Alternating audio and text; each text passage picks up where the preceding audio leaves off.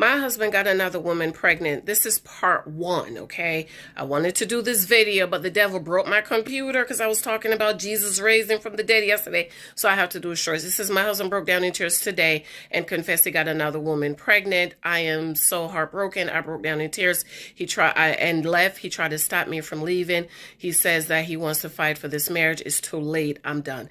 I am so glad to see women walking away from men who do not value them and you do not value your covenant that you stood before God and man and took.